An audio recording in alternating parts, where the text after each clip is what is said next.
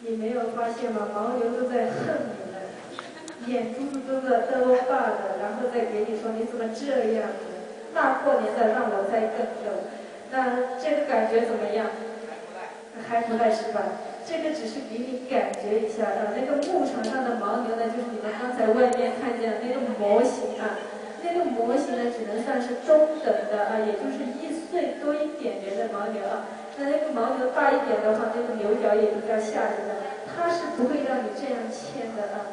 那你只能最多跟在它后面。如果你从它前面走的话呢，你绝对不用走路的，它直接把你这样顶上去了，你就骑在它上面走就可以了。这个牦牛承受不起你的体重的，因为这个它只是一个模型嘛。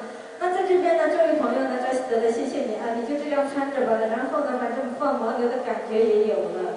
然后呢，你就明天上山给我们家放牦牛吧。反正我们家的索邦这两天全部都不听话，让他们上山去帮帮阿爸阿妈找一下牛，他们也不干，全部都跑去跟人家去喝酒了。